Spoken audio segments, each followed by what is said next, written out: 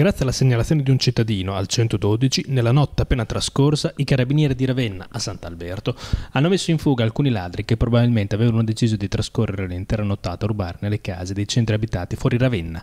Al seguito della segnalazione del cittadino, i militari della stazione di Sant'Alberto, impegnati in un servizio di controllo del territorio, hanno intercettato una Fiat Panda con due uomini a bordo che era stata segnalata a girarsi con fare sospetto nel Forese. L'auto, che procedeva a velocità ridotta, appena notati i carabinieri ha immediatamente accelerato tentando la fuga.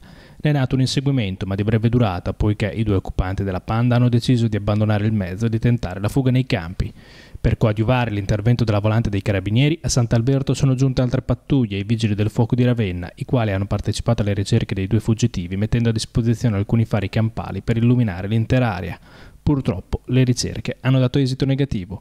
Nell'auto rubata a Rimini, invece, i militari hanno trovato oggetti da scasso e della refurtiva che sarà restituita ai proprietari.